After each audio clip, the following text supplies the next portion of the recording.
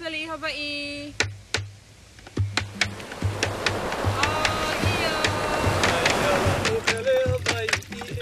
In den Tiefen der Sümpfe von Marantula, besser bekannt als die Totenkopfinsel von Ozeanien, liegt es stets die Augen nach gefährlichsten Dschungelbewohnern und unerforschten Kreaturen offen zu halten.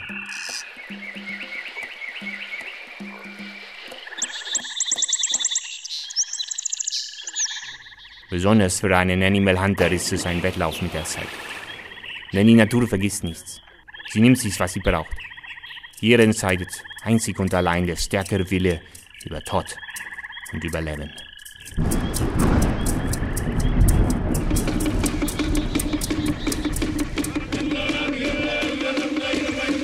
Kurz und gut.